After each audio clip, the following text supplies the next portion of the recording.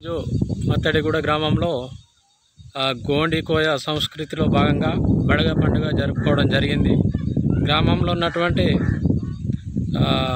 పటేల్ దేవారి ప్రజలు ఊరి ప్రజలందరూ వెదురు బొంగులుతో తయారు చేసినటువంటి గుర్రాలను ఆ, జామర్ హౌస్ నుండి పోలాల పండు వరకు ఆ గుర్రాలను చిన్నపిల్లలు ఆడుతూ ఈరోజు వాటిని గ్రామంలో ఉన్నటువంటి దోమలు రోగాలు ఏమి రాకుండా వెళ్ళిపోవాలని జాగయ్య మాత్ర అనుకుంటూ గ్రామంలో ఉన్నటువంటి ప్రజలందరూ ఇంటింటి నుంచి గుర్రాలను తీసుకెళ్ళి గ్రామ పొలిమర శివలో అక్కడ ఆ శివ తల్లికి చెట్టు టేక చెట్టు దగ్గర ఉంచి పూజలు చేసిన తర్వాత నైవేద్యం అంత సమర్పించిన తర్వాత అందరూ కలిసినట్టుగా భోజనాలు చేస్తారు.